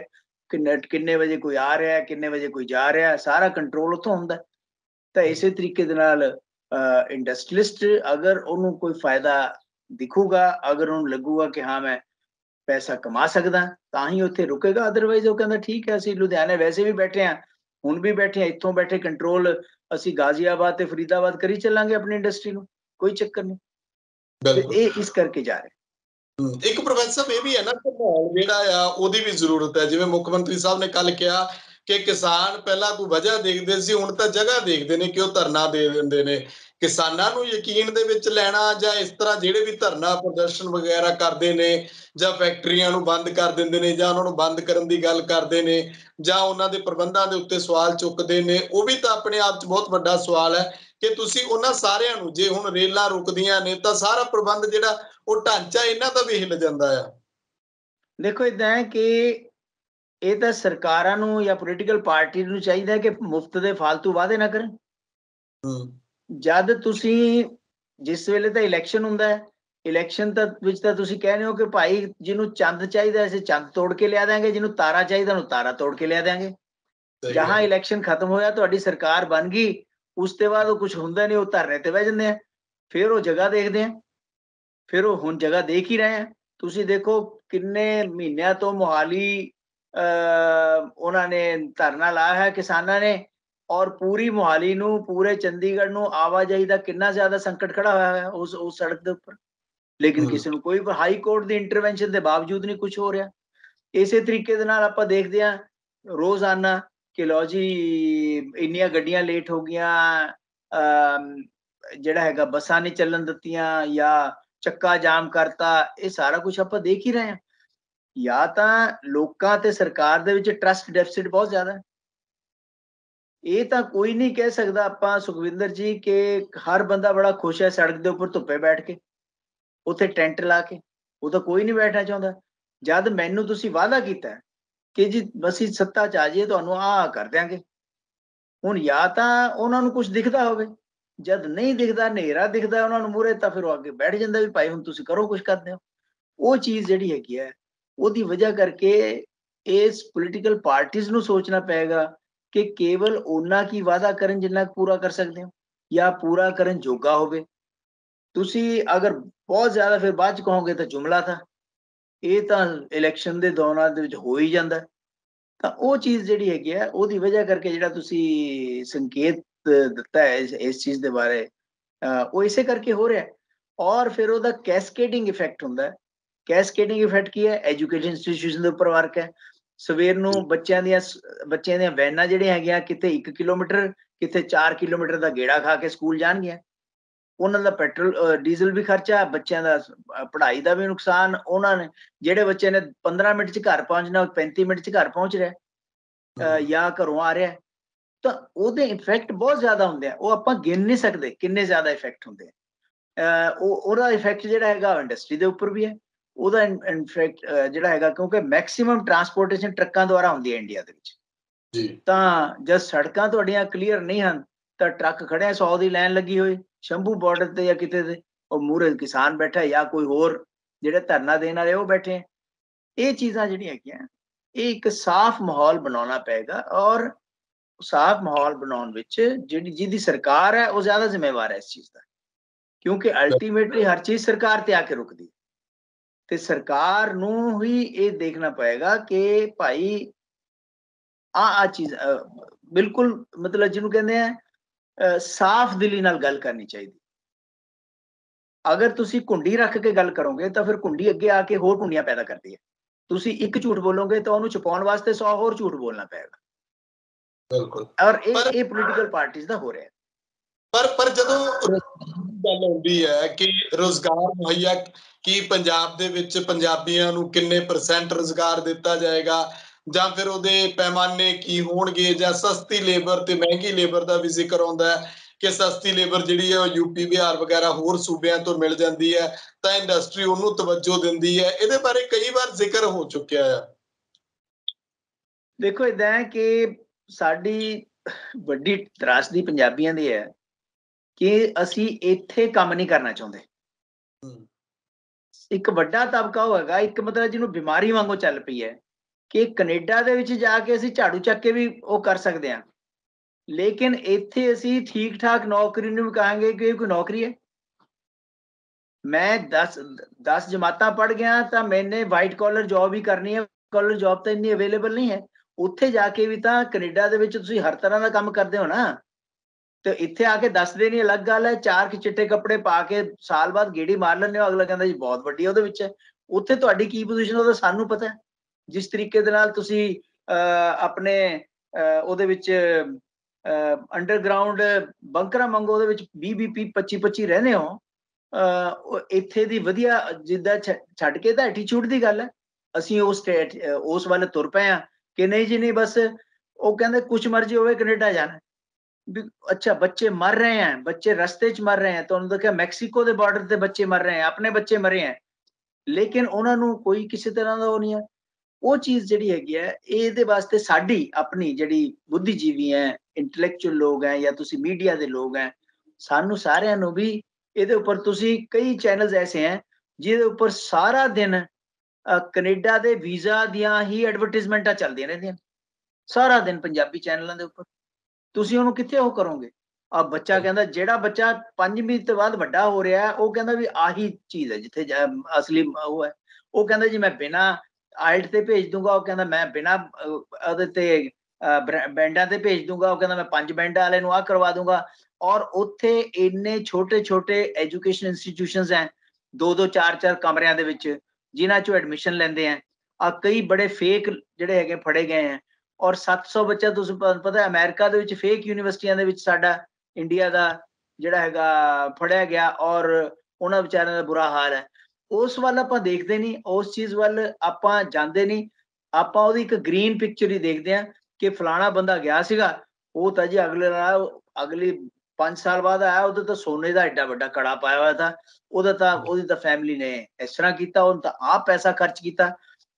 ਉਹ ਚੀਜ਼ ਆਪਾਂ ਦੇਖਦੇ ਹਾਂ, ਲੇਕਿਨ ਉਹਦਾ ਡਾਰਕ ਸਾਈਡ ਨਹੀਂ ਦੇਖਦੇ। ਕਿੰਨੇ ਲੋਕ ਵਾਪਸ ਆ ਰਹੇ ਆ ਅਸੀਂ ਉਹ ਚੀਜ਼ ਨੂੰ ਦੱਸ ਹੀ ਨਹੀਂ ਰਹੇ। ਮੈਂ ਇਹ ਇੱਕ ਐਸਪੈਕਟ ਹੈ, ਹੋਰ ਬੜੇ ਐਸਪੈਕਟ ਹੈ। ਤਾਂ ਇਹਨਾਂ ਚੀਜ਼ਾਂ ਦੇ ਉੱਪਰ ਸਰਕਾਰਾਂ ਨੂੰ ਵੀ ਐਡਵਰਟਾਈਜ਼ਮੈਂਟਾਂ ਕਰਨੀਆਂ ਚਾਹੀਦੀਆਂ ਐਜੂਕੇਸ਼ਨ ਇੰਸਟੀਟਿਊਸ਼ਨਸ ਨੂੰ ਵੀ, ਬੁੱਧੀਜੀਵੀਆਂ ਨੂੰ ਵੀ ਮੀਡੀਆ ਨੂੰ ਵੀ। ਇਹ ਚੀਜ਼ ਨੂੰ ਸਾਹਮਣੇ ਲਿਆਉਣਾ ਚਾਹੀਦਾ ਤਾਂ ਕਿ ਸਾਡੀ ਜਵਾਨੀ ਜਿਹੜੀ ਹੈਗੀ ਹੈ, ਉਹਦੀ, ਉਹਨੂੰ ਕੋਰਾ ਨਾ ਲੱਗੇ, ਜਿਹੜਾ ਕਿ ਬੜੀ ਬੁਰੀ ਤਰ੍ਹਾਂ ਲੱਗਿਆ ਹੋਇਆ ਹੈ।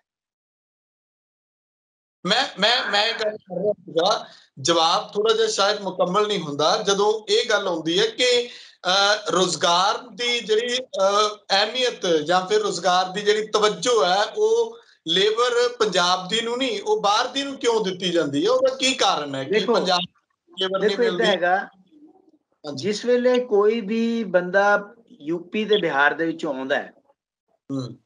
ਉਹ ਜਿਸ ਵੇਲੇ ਇੱਕ ਐਗਰੀਕਲਚਰ ਲੇਬਰ ਵਾਸਤੇ ਆਉਂਦਾ ਹੈ ਅੰਬਾਲੇ ਤੋਂ ਲੈ ਕੇ ਠੇਕੇਦਾਰ ਜਿਹੜੇ ਹੈਗੇ ਆ ਦਲਾਲ ਉਹਨਾਂ ਦਾ ਸੌਦੇ ਕਰਦੇ ਆ ਤੈਨੂੰ ਮੈਂ ਇੰਨੀ ਲੇਬਰ ਦਵਾ ਦੂੰ ਉਹ ਕਿਸੇ ਵੀ ਸਿਚੁਏਸ਼ਨ ਦੇ ਵਿੱਚ ਘੱਟ ਤੋਂ ਘੱਟ ਕੰਮ ਕਰਨ ਵਾਸਤੇ ਵੀ ਤਿਆਰ ਹੈ। ਉਹ ਕਿਉਂਕਿ ਉੱਥੋਂ ਜਿਹੜਾ ਹੈਗਾ ਉੱਥੋਂ ਬਹੁਤ ਬੁਰੀ ਹਾਲਤ ਦੇ ਵਿੱਚੋਂ ਆ ਰਿਹਾ ਉਹ ਕਹਿੰਦਾ ਇਹਦੇ ਨਾਲੋਂ ਬੈਟਰ ਹੈ। ਅੱਛਾ ਇਸੇ ਤਰੀਕੇ ਨਾਲ ਇੰਡਸਟਰੀ ਦੇ ਵਿੱਚ ਹੈ। ਲੁਧਿਆਣੇ ਦੀ ਲੁਧਿਆਣਾ ਅੰਮ੍ਰਿਤਸਰ ਜਲੰਧਰ ਫਗਵਾੜਾ ਗੁਰਾਇਆ ਬਟਾਲਾ, ਜਿੱਥੇ ਜਿੱਥੇ ਵੀ ਛੋਟੀ ਇੰਡਸਟਰੀ ਹੈ, ਤੁਸੀਂ ਮੈਕਸਿਮਮ ਕੀ ਦੇਖੋਗੇ? ਕਿ ਯੂਪੀ ਤੇ ਬਿਹਾਰ ਦੀ ਲੇਬਰ ਹੈ। ਤੁਸੀਂ ਪੰਜਾਬੀ ਨੂੰ ਕਹੋ ਕਿ ਤੈਨੂੰ ਮੈਂ 100 ਰੁਪਏ ਦਿਹਾੜੀ ਦਊਂਗਾ, ਉਹ ਕਹਿੰਦਾ ਮੈਂ ਤਾਂ ਨਹੀਂ ਕੰਮ ਕਰਦਾ। ਵਿਹਲਾ ਬੈਠਾ ਰਹੂਗਾ। ਉਹ ਕਹਿੰਦੇ ਜੀ ਮੈਂ 50 ਰੁਪਏ ਦਊਂਗਾ ਕਹਿੰਦਾ ਮੈਂ ਕਰਨ ਨੂੰ ਤਿਆਰ ਹਾਂ। ਉਹ ਕਹਿੰਦਾ ਮੈਂ ਉਹਦੇ ਵਿੱਚੋਂ ਵੀ 10 ਰੁਪਈਆਂ ਦੇ ਚੌਲ ਖਾ ਕੇ 40 ਰੁਪਏ ਬਚਾ ਲੂੰਗਾ ਮੈਂ ਉੱਥੇ ਉਹਦੇ ਥੱਲੇ ਸੌ ਲੂੰਗਾ ਆਪਣੇ ਕਿਸੇ ਦੁਕਾਨ ਦੇ ਥੜੇ ਦੇ ਉੱਪਰ ਸੌ ਲੂੰਗਾ ਉਹ ਚੀਜ਼ ਉਹ ਨਹੀਂ ਹੈ। ਇਹ ਇੱਕ ਇਹ ਇੱਕ ਐਸਪੈਕਟ ਹੈਗਾ। ਦੂਸਰਾ, ਦੂਸਰੀ ਚੀਜ਼ ਹੈਗੀ ਹੈ ਉਹਦੇ ਵਿੱਚੋਂ ਹੀ ਜਿਹੜੇ ਲੋਕ ਉੱਥੋਂ ਆਉਂਦੇ ਆ, ਉਹਦੇ ਵਿੱਚੋਂ ਹੀ ਐਜੂਕੇਸ਼ਨ ਦੇ ਵਿੱਚ ਜਾਂਦੇ ਆ। ਤੁਸੀਂ ਮੈਕਸਿਮਮ ਗਵਰਨਮੈਂਟ ਸਕੂਲ ਜਿਹੜੇ ਜਿਹੜੇ ਆਪਣੇ ਦੇ ਵਿੱਚ ਹੈ ਵੱਡੇ ਸ਼ਹਿਰਾਂ ਦੇ ਆਲੇ ਦਾਲੇ ਹੈ ਮੈਕਸਿਮਮ ਦੇ ਵਿੱਚ ਤੁਸੀਂ ਬੱਚੇ ਕਿਹਨਾਂ ਦੇ ਦੇਖੋਗੇ? ਯੂਪੀ ਤੇ ਬਿਹਾਰ ਦੇ ਲੇਬਰ ਦੇ। ਉਹ ਜਿਹੜੇ ਬੱਚੇ ਹੈਗੇ ਆ, ਉਹੀ ਅੱਗੇ ਵਧ ਰਹੇ ਆ ਔਰ ਉਹੀ ਬੱਚੇ ਫਿਰ ਜਿਹੜੇ ਹੈਗੇ ਆ, ਤੁਹਾਡੀਆਂ ਕੱਲ ਨੂੰ ਜਿਹੜੀਆਂ ਸਰਕਾਰੀ ਨੌਕਰੀਆਂ ਨੇ ਤੇ ਹੋਰ ਆ, ਉਹਨਾਂ ਨੂੰ ਕੈਪਚਰ ਕਰ ਰਹੇ ਆ। ਫਿਰ ਤੁਸੀਂ ਕੀ ਕਰੋਗੇ? ਫਿਰ ਤੁਸੀਂ ਕਹੋਗੇ ਜਿੱਥੇ ਵਾਇਲੈਂਸ ਹੋ ਗਿਆ ਹਿੰਸਾ ਹੋ ਗਈ। ਤੁਸੀਂ ਮੁੱਢ ਤੋਂ ਕਿਉਂ ਨਹੀਂ ਚੱਲ ਰਹੇ? ਅਗਲਾ ਤਾਂ ਕਹਿੰਦਾ ਕਹਿੰਦਾ ਮੈਂ ਕਿਸੇ ਵੀ ਸਿਚੁਏਸ਼ਨ 'ਚ ਕੰਮ ਕਰੂੰਗਾ। ਤੁਸੀਂ ਕਹਿੰਦੇ ਹੋ ਜੀ ਮੇਰੇ ਵਾਸਤੇ ਪਹਿਲਾਂ ਸਿਚੁਏਸ਼ਨ ਅਨੁਕੂਲ ਬਣਾਓ, ਫਿਰ ਮੈਂ ਕੰਮ ਕਰੂੰਗਾ। ਦੋਨਾਂ 'ਚ ਤਾਂ ਬਹੁਤ ਫ਼ਰਕ ਹੈ। ਉਹ ਚੀਜ਼ ਜਿਹੜੀ ਹੈਗੀ ਆ ਇਹ ਇਹ ਬਹੁਤ ਵੱਡੇ ਮਸਲੇ ਹੈਗੇ ਆ ਜਿਨ੍ਹਾਂ ਪਰ ਸਾਨੂੰ ਅਸੀਂ ਡਿਸਕਸ ਕਰਨ ਵਾਸਤੇ ਤਿਆਰ ਨਹੀਂ ਆ। ਅਸੀਂ ਇਹਨੂੰ ਬਿਲਕੁਲ ਜਿਹਨੂੰ ਕਹਿੰਦੇ ਇੱਕ ਸੁਪਰ ਸਟਰਕਚਰ ਲੈਵਲ ਤੇ ਲੈ ਲੈਂਦੇ ਆ। ਇਨਫੈਕਟ ਇਹ ਬਹੁਤ ਵੱਡੇ ਕ੍ਰਾਈਸਿਸ ਹੈ ਜਿਹੜੇ ਆਉਣ ਵਾਲੇ ਦਿਨਾਂ 'ਚ ਵੱਧ ਰਹੇ ਆ ਸੁਖਵਿੰਦਰ ਜੀ। ਇਹ ਘਟ ਨਹੀਂ ਰਹੇ। ਬਿਲਕੁਲ। ਪ੍ਰੋਫੈਸਰ ਜਦੋਂ ਵਪਾਰ ਦੀ ਗੱਲ ਕਰਦੀ ਹੈ ਤਾਂ ਕੇਂਦਰ ਤੇ ਸੂਬਿਆਂ ਦੇ ਵਿਚਾਲੇ ਜਿਹੜੀ ਟਸਲ ਹੁੰਦੀ ਹੈ, ਜਿੱਥੇ ਤਾਂ ਨਿਭ ਗਈ ਨਿਭ ਗਈ, ਜਿੱਥੇ ਵਿਗੜ ਗਈ, ਜਿਵੇਂ ਦਿੱਲੀ ਦੇ ਵਿੱਚ ਜੋ ਹਾਲਾਤ ਰਹੇ, ਜਿਵੇਂ ਹੁਣ ਪੰਜਾਬ 'ਚ ਮੁੱਖ ਮੰਤਰੀ ਸਾਹਿਬ ਫੇਰ ਚਿੱਠੀ ਲਿਖਦੇ ਨੇ ਕਿ ਜੀ ਜਿਹੜਾ ਰੂਰਲ ਡਿਵੈਲਪਮੈਂਟ ਫੰਡ ਹੈ, ਜਿਹੜਾ ਕਿ ਪਿੰਡੂ ਵਿਕਾਸ ਫੰਡ ਹੈ, ਉਹ ਕੇਂਦਰ ਸਾਨੂੰ ਦੇ ਨਹੀਂ ਰਿਹਾ, ਉਹਦੇ ਨਾਲ ਪਿੰਡਾਂ ਦਾ ਵਿਕਾਸ ਰੁਕ ਰਿਹਾ, ਉਹਦੇ ਨਾਲ ਕਿਸਾਨੀ ਦਾ ਵਿਕਾਸ ਰੁਕ ਰਿਹਾ ਇਸ ਤਰੀਕੇ ਦੀ ਗੱਲ ਜਦੋਂ ਸਾਹਮਣੇ ਆਉਂਦੀ ਹੈ, ਤਾਂ ਵੀ ਉਹਦੇ ਨਾਲ ਜਿਹੜਾ ਵਪਾਰੀ ਜਗਤ ਹੈ ਜਾਂ ਉਹ ਜਿਹੜੇ ਇੰਡਸਟਰੀ ਲਾਉਣਾ ਚਾਹੁੰਦੇ ਨੇ, ਉਹ ਵੀ ਇਹ ਗੱਲ ਸੋਚਦੇ ਨੇ ਕਿ ਇਹਨਾਂ ਦੇ ਕੇਂਦਰ ਨਾਲ ਸੰਬੰਧ ਕਿੱਦਾਂ ਦੇ ਨੇ? ਕਿਉਂਕਿ ਜੇ ਉਹਨਾਂ ਨੇ ਕੋਈ ਆਪਣਾ ਕੰਮਕਾਰ ਕਰਾਉਣਾ, ਕੋਈ ਕੁਝ ਫਾਈਲਾਂ ਕੇਂਦਰ ਤੱਕ ਵੀ ਸੀਮਤ ਹੁੰਦੀਆਂ ਨੇ, ਇਸ ਕਰਕੇ ਇਹਦਾ ਵੀ ਬਹੁਤ ਪ੍ਰਭਾਵ ਪੈਂਦਾ। ਦੇਖੋ ਇਦਾਂ ਹੈ ਕਿ ਪਿਛਲੇ ਕੁਝ ਸਾਲਾਂ ਦੇ ਵਿੱਚ ਕੇਂਦਰ ਇੰਨਾ ਜ਼ਿਆਦਾ ਹਾਵੀ ਹੋ ਗਿਆ ਸਟੇਟਾਂ ਦੇ ਉੱਪਰ। ਸਾਡਾ ਜਿਹੜਾ ਸੰਗਾਤਮਕ ਢਾਂਚਾ ਹੈ ਸੰਘੀ ਪ੍ਰਣਾਲੀ ਹੈ ਉਹਨੂੰ ਇੰਨੀ ਜ਼ਿਆਦਾ ਢਾਹ ਤੇ ਠੇਸ ਲਾਈ ਹੈ। ਔਰ ਮੁੜ ਕੇ ਜਿਹੜਾ ਆਹ ਹੋਇਆ ਪੈਂਡੈਮਿਕ ਦੇ ਦਿਨਾਂ ਦੇ ਵਿੱਚ ਡਿਜ਼ਾਸਟਰ ਮੈਨੇਜਮੈਂਟ ਐਕਟ ਦਾ ਸਹਾਰਾ ਲੈ ਕੇ ਸਰਕਾਰਾਂ ਨੇ ਕੇਂਦਰੀ ਸਰਕਾਰ ਨੇ ਜੋ ਰਾਜ ਸਰਕਾਰਾਂ ਦੀ ਧੂੜ ਪੱਟੀ ਹੈ ਰਾਜ ਰਾਜ ਸਰਕਾਰਾਂ ਨੂੰ ਮਿਊਨਿਸਪੈਲਿਟੀਆਂ ਬਣਾ ਕੇ ਰੱਖਤਾ। ਫਾਈਨੈਂਸ਼ੀਅਲ ਰੂਪ ਦੇ ਵਿੱਚ ਤਾਂ ਡੈਫੀਨਿਟਲੀ ਕਿ ਰਾਜ ਸਰਕਾਰਾਂ ਬਿਲਕੁਲ ਹੀ ਕੇਂਦਰ ਉੱਪਰ ਨਿਰਭਰ ਹੈ। ਔਰ ਉੱਪਰੋਂ ਦੋ ਚੀਜ਼ਾਂ ਦੇਖੋ। ਪਹਿਲੀ ਚੀਜ਼ ਤੁਸੀਂ ਕਿਹਾ ਜੀ ਜੀਐਸਟੀ ਜਿੱਥੇ ਆਪੋਜੀਸ਼ਨ ਦੀਆਂ ਸਰਕਾਰਾਂ ਹੈ ਉੱਥੇ ਜੀਐਸਟੀ ਟਾਈਮ ਤੇ ਨਾ ਦੇਣਾ। ਜਿੱਥੇ ਉਸੇ ਪਾਰਟੀ ਦੀ ਸਰਕਾਰ ਹੈ ਜਿਸ ਪਾਰਟੀ ਦੀ ਸਰਕਾਰ ਕੇਂਦਰ ਦੇ ਵਿੱਚ ਹੈ ਉੱਥੇ ਗੱਫੇ ਵੰਡ ਨੇ। ਦੂਸਰੀ ਚੀਜ਼ ਗ੍ਰਾਂਟਸ ਦੇਣੀਆਂ ਜਾਂ ਲੋਨ ਦੇਣੇ ਜਾਂ ਵੱਡੇ ਵੱਡੇ ਜਿਹਨੂੰ ਕਹਿੰਦੇ ਪ੍ਰੋਜੈਕਟ ਦੇਣੇ ਉਹਦੇ ਵਿੱਚ ਇਹ ਦਿਖਦੀ ਹੈ ਸਰਕਾਰ ਕੇਂਦਰੀ ਸਰਕਾਰ ਕਿ ਸਾਡੀ ਇਹ ਪਾਰਟੀ ਦੀ ਸਰਕਾਰ ਕਿੱਥੇ ਹੈ ਆਪੋਜੀਸ਼ਨ ਦੀ ਸਰਕਾਰਾਂ ਕਿੱਥੇ ਹੈ? ਆਪੋਜੀਸ਼ਨ ਦੀ ਸਰਕਾਰ ਜਿਵੇਂ ਪੰਜਾਬ ਦੇ ਵਿੱਚ ਹੈ ਪੰਜਾਬ ਦੇ ਵਿੱਚ ਆਪੋਜੀਸ਼ਨ ਦੀ ਸਰਕਾਰ ਹੈ। ਜੀ। ਆਮ ਆਦਮੀ ਪਾਰਟੀ ਦੀ ਸਰਕਾਰ ਹੈ। ਆਮ ਆਦਮੀ ਦੀ ਪਾਰਟੀ ਦੀ ਸਰਕਾਰ ਨੂੰ ਤਾਂ ਇਸ ਕੇਂਦਰ ਦੀ ਸਰਕਾਰ ਤੋਂ ਬਿਲਕੁਲ ਹੀ ਐਕਸਪੈਕਟ ਨਹੀਂ ਕਰਨਾ ਚਾਹੀਦਾ ਕੋਈ ਫਾਇਦਾ ਕਰ ਦੂਗੀ ਉਹ ਤੁਹਾਡੀ ਹਰ ਪ੍ਰਪੋਜ਼ਲ ਨੂੰ ਸੂਈ ਦੇ ਨੱਕੇ 'ਚ ਨੂੰ ਕੱਢ ਕੇ ਫਿਰ ਅਪਰੂਵ ਕਰੇਗੀ ਅਦਰਵਾਈਜ਼ ਉਹਨਾਂ ਤੋਂ ਕਿਸੇ ਤਰ੍ਹਾਂ ਦਾ ਉਹ ਨਾ ਸਮਝੋ। ਚਾਹੇ ਉਹ ਰੂਰਲ ਡਿਵੈਲਪਮੈਂਟ ਫੰਡ ਹੋਵੇ, ਚਾਹੇ ਜੀਐਸਟੀ ਦਾ ਮਸਲਾ ਹੋਵੇ, ਚਾਹੇ ਉਹ ਵੱਡੇ ਪ੍ਰੋਜੈਕਟਾਂ ਦਾ ਲੈਣਾ ਹੋਵੇ, ਹੁਣ ਤੁਸੀਂ ਦੇਖੋ ਨਾ ਵੀ ਕਹਿੰਦੇ ਕੋਲਾ ਜਿਹੜਾ ਹੈਗਾ, ਉਹ ਉੱਥੋਂ ਚੱਲੂਗਾ ਖਾਨਾ ਤੋਂ ਪਹਿਲਾਂ ਬੰਦਰਗਾਹ ਤੇ ਜਾਏਗਾ, ਉੱਥੋਂ ਬਾਈ ਸ਼ਿਪ ਜਿਹੜਾ ਹੈਗਾ ਗੁਜਰਾਤ ਜਾਏਗਾ, ਗੁਜਰਾਤ ਤੋਂ ਫਿਰ ਉਹਦੇ ਤੇ ਆਏਗਾ। ਇਹ ਕਿਹੜਾ ਲੌਜੀਕ ਹੋਇਆ ਜੀ? ਪੰਜਾਬ ਨੂੰ ਕੋਲਾ ਐ ਦਵਾਂਗੇ ਅਸੀਂ। ਤਾਂ ਇਸ ਤਰ੍ਹਾਂ ਦੀਆਂ ਚੀਜ਼ਾਂ ਜਿਹੜੀਆਂ ਹੈਗੀਆਂ ਨਾ, ਉਹ ਆਪ ਸਰਕਾਰਾਂ ਨੂੰ, ਖਾਸ ਤੌਰ 'ਤੇ ਪੰਜਾਬ ਦੀ ਸਰਕਾਰ ਨੂੰ ਔਰ ਆਮ ਆਦਮੀ ਪਾਰਟੀ ਦੀ ਸਰਕਾਰ ਨੂੰ, ਤਾਂ ਇਹ ਚੀਜ਼ ਬਿਲਕੁਲ ਕਲੀਅਰ ਹੋਣੀ ਚਾਹੀਦੀ ਹੈ ਕਿ ਆਪ ਰੂਲਿੰਗ ਸੈਂਟਰ ਗਵਰਨਮੈਂਟ ਤੇ ਉਹਨਾਂ ਨੂੰ ਕਿਸੇ ਤਰ੍ਹਾਂ ਦੀ ਕੋਈ ਸੁਵਿਧਾ ਜਾਂ ਕਿਸੇ ਤਰ੍ਹਾਂ ਦੀ ਕੋਈ ਫੇਵਰ ਮਿਲਣ ਵਾਲੀ ਨਹੀਂ ਹੈ। ਹਰ ਪ੍ਰਪੋਜ਼ਲ ਨੂੰ ਉਹ ਅੜਿੱਕਾ ਲੱਗੂਗਾ ਜਾਂ ਅੜਿੱਕਾ ਲਾਉਣ ਤੇ ਬਾਅਦ ਪਾਰਸ਼ਲ ਢੰਗ ਦੇ ਨਾਲ ਇੰਪਲੀਮੈਂਟ ਹੋਏਗਾ। ਔਰ ਇਹੀ ਚੀਜ਼ ਆ ਰੂਰਲ ਡਿਵੈਲਪਮੈਂਟ ਫੰਡ ਜਾਂ ਦੂਸਰੇ ਫੰਡਸ ਦੀ ਵੀ ਹੈਗੀ ਹੈ। ਹੁਣ ਤੁਸੀਂ ਦੇਖੋ ਨਾ, ਜਿਹੜੇ ਆਮ ਆਦਮੀ ਪਾਰਟੀ ਨੇ ਕਲੀਨਿਕ ਬਣਾਏ, ਉਹਦੇ ਉੱਪਰ ਵੀ ਉਹਨਾਂ ਨੇ ਕਿਹਾ ਕਿ ਨਹੀਂ ਜੀ, ਤੁਸੀਂ ਉਹ ਪੈਸਾ ਨਹੀਂ ਲਗਾ ਸਕਦੇ, ਜਿਹੜਾ ਪੈਸਾ ਅਸੀਂ ਉਹਦੇ ਵਾਸਤੇ ਭੇਜ ਰਹੇ ਆ ਉਹਨਾਂ ਨੂੰ ਬੰਦ ਕਰਨਾ ਪਏ। ਕਈ ਸਕੀਮਾਂ ਜਿਹੜੀਆਂ ਹੈਗੀਆਂ ਬੰਦ ਕਰਨੀਆਂ ਪੈਂਦੀਆਂ ਆਪਣੇ ਰਾਜ ਸਰਕਾਰਾਂ ਨੂੰ, ਔਰ ਸਾਡੇ ਵੀ ਕੀਤੇ ਆ। ਫਿਰ ਆਮ ਉਹਨਾਂ ਨੇ ਕਲੀਨਿਕਾਂ ਦੇ ਉੱਪਰ ਫੋਟੋਆਂ ਚੇਂਜ ਕੀਤੀਆਂ, ਹੋਰ ਕੀਤਾ। ਇਹ ਸਾਰਾ ਕੁਝ ਹੈ ਕਿ ਕੇਂਦਰ ਤੇ ਰਾਜਾਂ ਦੇ ਵਿੱਚ ਜਿਹੜਾ ਸੰਘੀ ਪ੍ਰਣਾਲੀ ਦੇ ਉੱਪਰ ਪ੍ਰਹਾਰ ਨੂੰ ਲੈ ਕੇ ਤਾਂ ਬਹੁਤ ਵੱਡਾ ਕੁਐਸਚਨ ਮਾਰਕ ਹੈ ਹੀ ਹੈ। ਤਾਂ ਫਿਰ ਪ੍ਰੋਫੈਸਰ ਗੱਲ ਕਰਦੇ ਹਾਂ ਕਿ ਜੇ ਹੁਣ ਇਹ ਵੀ ਕੇਂਦਰੀ ਪਾਰਟੀ ਬਣ ਚੁੱਕੇ ਨੇ, ਇਹ ਕਦੋਂ ਆਵਾਜ਼ ਚੁੱਕਣਗੇ ਸੂਬਿਆਂ ਦੇ ਵੱਧ ਅਧਿਕਾਰਾਂ ਨੂੰ ਲੈ ਕੇ? ਫੈਡਰਲਿਜ਼ਮ ਦੀ ਲੜਾਈ ਜਿਹਦੀ ਗੱਲ ਹੁੰਦੀ ਹੈ ਕਿ ਉਹਦੇ ਬਾਰੇ ਵੀ ਤਾਂ ਇੱਕ ਮੁਹਾਜ਼ ਖੜਾ ਕਰਨਾ ਚਾਹੀਦਾ ਹੈ। ਜੇ ਤੁਹਾਨੂੰ 2024 ਦਾ ਡਰ ਸਤਾ ਰਿਹਾ ਹੈ ਜਾਂ ਤੁਹਾਨੂੰ ਸੱਤਾ ਦੇ ਕੇਂਦਰੀਕਰਨ ਦਾ ਡਰ ਸਤਾ ਰਿਹਾ ਹੈ ਤਾਂ ਤੁਹਾਨੂੰ ਵੀ ਇਸ ਪਾਸੇ ਵੱਲ ਨੂੰ ਸੋਚਣਾ ਚਾਹੀਦਾ ਹੈ ਕਿ ਬਲੀ ਦਾ ਬੱਕਰਾ ਹੌਲੀ ਹੌਲੀ ਪੰਜਾਬ ਨੂੰ ਵੀ ਬਣਾਇਆ ਜਾ ਰਿਹਾ ਹੈ। ਹਰੇਕ ਸਰਕਾਰ ਜਿਹੜੇ ਬਣਿਆ ਇਸ ਵਾਰ ਵੀ ਇਹੀ ਕੁਝ ਹੈ। ਜੇ ਤੁਹਾਨੂੰ ਬਦਲਾਅ ਦਾ ਮੌਕਾ ਮਿਲਿਆ ਤੇ ਤੁਸੀਂ ਅੱਗੇ ਕਿਉਂ ਨਹੀਂ ਵਧਦੇ? ਕਿਉਂ ਨਹੀਂ ਫੈਡਰਲਿਜ਼ਮ ਦਾ ਝੰਡਾ ਚੁੱਕਦੇ? ਆਲ ਪਾਰਟੀ ਮੀਟਿੰਗ ਸੱਦੋ ਸਾਰਿਆਂ ਨੂੰ ਸੱਦ ਕੇ ਇਕੱਠੇ ਬਹਿ ਕੇ ਕੋਈ ਰੋਡ ਮੈਪ ਤਿਆਰ ਕਰੋ। ਦੇਖੋ ਆਮ ਆਦਮੀ ਪਾਰਟੀ ਦੀ ਵਿਡੰਬਨਾ ਇਹ ਹੈਗੀ ਹੈ ਕਿ ਉਹ ਇੱਕ ਪਾਸੇ ਸੈਂਟਰ ਤੋਂ ਸੁਵਿਧਾਵਾਂ ਵੀ ਲੈਣਾ ਚਾਹੁੰਦੀ ਹੈ। ਹੁਣ ਜਿਵੇਂ ਕੱਲ ਦੀ ਜਿਹੜੀ ਜਜਮੈਂਟ ਹੈ ਸੁਪਰੀਮ ਕੋਰਟ ਦੀ ਕਿ ਐਲਜੀ ਨਹੀਂ ਬਲਕਿ ਜਿਹੜੀ ਚੁਣੀ ਹੋਈ ਸਰਕਾਰ ਹੈ ਉਹ ਅਸਲ ਸਰਕਾਰ ਹੈ ਜਿਹੜੀ ਕਿ ਸੈਂਟਰ ਗਵਰਨਮੈਂਟ ਨੇ ਉਹਨੂੰ ਪਲਟ ਦਿੱਤਾ ਸੀਗਾ। ਇੱਕ ਪਾਸੇ ਆਮ ਆਦਮੀ ਪਾਰਟੀ ਕਹਿੰਦੀ ਹੈ ਜੀ ਕਿ ਕੇਂਦਰ ਸਾਡੇ ਨਾਲ ਧੱਕਾ ਕਰ ਰਿਹਾ ਸੰਘਾਤਮਕ ਪ੍ਰਣਾਲੀ ਜਿਹੜੀ ਹੈਗੀ ਹੈ ਉਹ ਖਤਰੇ 'ਚ ਹੈ। ਦੂਸਰੇ ਪਾਸੇ ਇਹੀ ਪਾਰਟੀ ਆਰਟੀਕਲ 370 ਖਤਮ ਕਰਨ ਦੇ ਉੱਪਰ ਵਧਾਈਆਂ ਦਿੰਦੀ ਹੈ।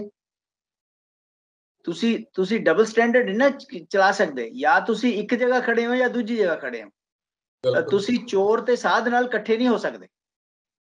ਤੁਸੀਂ ਉੱਥੇ ਹੋਣਾ ਪਏਗਾ। ਉਹ ਚੀਜ਼ ਜਿਹੜੀ ਹੈਗੀ ਆ ਦੂਸਰੀ ਗੱਲ ਇਹ ਹੈਗੀ ਹੈ ਕਿ ਆਮ ਆਦਮੀ ਪਾਰਟੀ ਬੇਸ਼ੱਕ ਇੱਕ ਰਾਸ਼ਟਰੀ ਪਾਰਟੀ ਬਣ ਚੁੱਕੀ ਹੈ।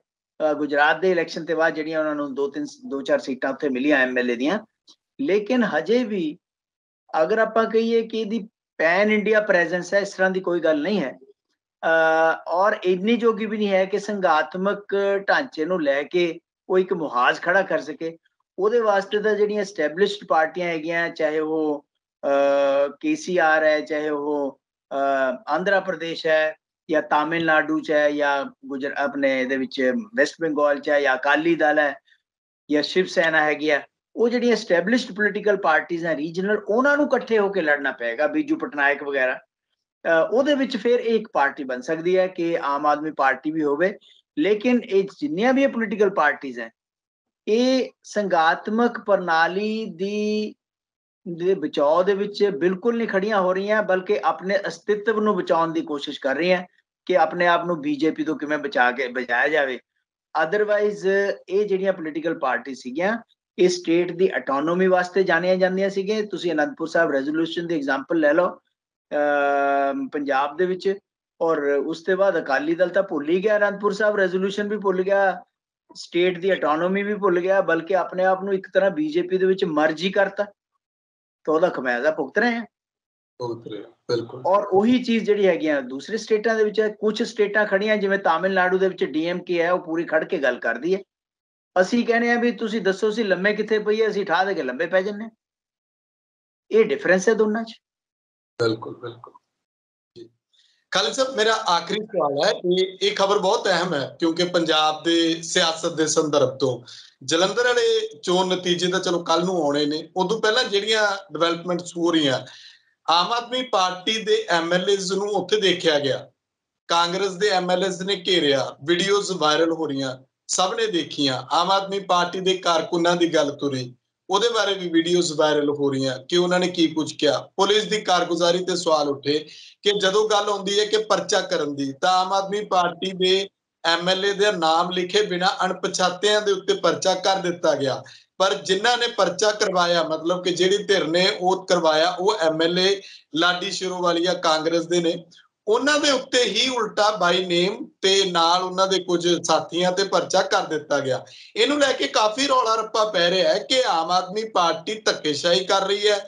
ਆਮ ਆਦਮੀ ਪਾਰਟੀ ਪਿਛਲੀਆਂ ਪਾਰਟੀਆਂ ਤੋਂ ਅੱਗੇ ਵੱਧ ਕੇ ਨਵੀਆਂ ਲੀਹਾਂ ਪਾ ਰਹੀ ਹੈ।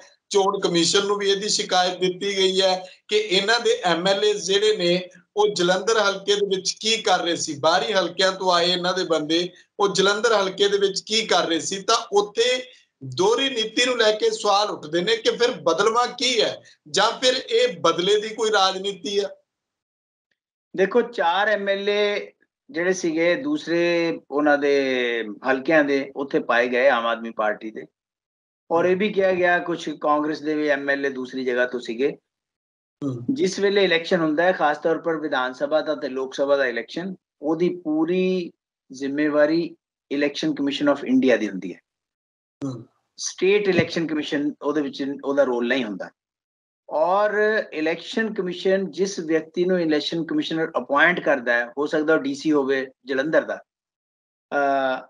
ਤਾਂ ਉਹਨੇ ਸੰਗਿਆਨ ਲੈਣਾ ਹੈ ਉਹ ਵੀਡੀਓਜ਼ ਦਾ। ਕਿਆ ਉਹ ਵੀਡੀਓਜ਼ ਦੇ ਮੁਤਾਬਕ ਐਫ ਆਈ ਆਰ ਹੈ ਜਾਂ ਐਫ ਆਈ ਆਰ ਜਿਹੜੀ ਹੈਗੀ ਆ ਵੀਡੀਓਜ਼ ਦੇ ਵਿਪਰੀਤ ਹੈ। ਔਰ ਉਹਦੇ ਪਰ ਪ੍ਰੋਪਰ ਜਾਂਚ ਹੋ ਕੇ ਜੋ ਵੀ ਵਿਅਕਤੀ ਕਿਉਂਕਿ ਅਗਰ ਇਹ ਕਿਹਾ ਜਾਂਦਾ ਹੈ ਕਿ ਭਾਈ ਇੰਨਾ ਚਿਰ ਪਹਿਲਾਂ ਤੁਸੀਂ ਬੂਥ ਦੇ ਉੱਪਰ ਕੋਈ ਵੀ ਗੈਰ ਬੰਦਾ ਨਹੀਂ ਰਹੇਗਾ ਤਾਂ ਅਗਰ ਕੋਈ ਰਹਿੰਦਾ ਹੈ ਔਰ ਉਹਦਾ ਪੂਰਾ ਤੁਹਾਡੇ ਕੋਲ ਐਵੀਡੈਂਸ ਹੈ ਔਰ ਉਹ ਐਵੀਡੈਂਸ ਤੁਸੀਂ ਪੇਸ਼ ਕਰੋ। ਈਵਨ ਅਗਰ ਸਰ ਜਿਹੜੀ ਆਪਣੇ ਹੈਗੀ ਹੈ ਤੁਹਾਡੀ ਪੁਲਿਸ। ਪੁਲਿਸ ਅਗਰ ਕੋਈ ਐਫ ਆਈ ਆਰ ਨਹੀਂ ਵੀ ਕਰਦੀ ਜਾਂ ਗਲਤ ਐਫ ਆਈ ਆਰ ਕਰਦੀ ਹੈ ਤਾਂ ਉਹ ਕੋਰਟ ਦੇ ਵਿੱਚ ਉਹ ਕੇਸ ਲੁੜਕ ਜਾਏਗਾ। ਕਿਉਂਕਿ ਅਗਰ ਐਫ ਆਈ ਆਰ ਤੁਸੀਂ ਕਿਸੇ ਦੇ ਅਗੇਂਸਟ ਕਰਨੀ ਸੀ ਔਰ ਕੁਝ ਹੋਰ ਹੈ ਕਿਸੇ ਹੋਰ ਦੇ ਅਗੇਂਸਟ ਕੀਤੀ ਹੈ ਜਿਵੇਂ ਤੁਸੀਂ ਦੱਸ ਰਹੇ ਹੋ ਉਸ ਤੇ ਦੀ ਸਿਚੁਏਸ਼ਨ ਦੇ ਵਿੱਚ ਇਹ ਜੀ ਐਫ ਆਈ ਆਰ ਖੜ ਨਹੀਂ ਪਾਏਗੀ ਉਹ ਕੁਐਸ਼ ਹੋ ਜਾਏਗੀ। ਹਾਂ ਉਸ ਦੇ ਵਿੱਚ ਉਸ ਵਿਅਕਤੀ ਨੂੰ ਜਿਹਦੇ ਉੱਪਰ ਹੋਈ ਹੈ ਉਹਦਾ ਕਾਫੀ ਨੁਕਸਾਨ ਹੋ ਜਾਏਗਾ ਔਰ ਹੁੰਦਾ ਵੀ ਹੈ ਪਹਿਲਾਂ ਵੀ ਹੁੰਦਾ ਇਹ। ਇਹ ਚੀਜ਼ਾਂ ਜਿਹੜੀਆਂ ਹੈਗੀਆਂ ਅਹ, ਲੇਕਿਨ ਇੰਨਾ ਜ਼ਰੂਰ ਕਿਹਾ ਗਿਆ ਕਿ ਰੂਲਿੰਗ ਪਾਰਟੀ ਨੇ ਜਿੰਨੇ ਵੀ ਐਮਐਲਏ ਦੀਆਂ ਡਿਊਟੀਆਂ ਲਾਈਆਂ ਜਿੰਨੇ ਵੀ ਐਮਪੀਜ਼ ਦੀਆਂ ਡਿਊਟੀਆਂ ਲਾਈਆਂ ਐਮਪੀਜ਼ ਤਾਂ ਖੈਰ ਉਹਨਾਂ ਕੋਲ ਹੈ ਹੀ ਨਹੀਂ ਕੋਈ ਐਮਐਲਏ ਦੀਆਂ ਡਿਊਟੀਆਂ ਲਈਆਂ ਔਰ ਬੜੀ ਹੈਰਾਨੀ ਦੀ ਗੱਲ ਇਹ ਹੈਗੀ ਹੈ ਕਿ ਜਿਹੜੇ ਰਾਜ ਸਭਾ ਦੇ ਮੈਂਬਰ ਬਣਾਏ ਸੀਗੇ ਇਹਨਾਂ ਨੇ ਐਮਪੀ ਦਿੱਲੀੋਂ ਜਾਂ ਕਿਤੇ ਹੋਰ, ਉਹ ਕਿਤੇ ਇਲੈਕਸ਼ਨ 'ਚ ਨਜ਼ਰ ਨਹੀਂ ਆਏ, ਕਿਤੇ ਉੱਥੇ ਕੈਂਪੇਨ 'ਚ ਨਜ਼ਰ ਨਹੀਂ ਆਏ ਐਮਐਲਏ ਦੀਆਂ, ਮੰਤਰੀਆਂ ਦੀਆਂ ਸਭ ਦੀਆਂ ਡਿਊਟੀਆਂ ਲੱਗੀਆਂ ਹੋਈਆਂ ਸੀਗੀਆਂ ਔਰ ਪੋਲੀਟੀਕਲ ਪਾਰਟੀਆਂ ਨੇ ਹਰ ਤਰ੍ਹਾਂ ਦਾ ਸਾਨ, ਦਾਨ ਦੰਦ, ਵੇਵ ਸਭ ਕੁਝ ਇਸਤੇਮਾਲ ਕੀਤਾ ਕਿਉਂਕਿ ਸਭ ਦੀ ਪ੍ਰਤੀਸ਼ਠਾ ਦੌ ਤੇ ਸੀ, ਦੇਖੋ ਕੱਲ ਨੂੰ ਕੀ ਹੁੰਦਾ ਜੀ, ਸ਼ੁਕਰੀਆ ਪ੍ਰੋਫੈਸਰ ਸਾਹਿਬ, ਧੰਨਵਾਦ ਜੀ ਜੀ ਧੰਨਵਾਦ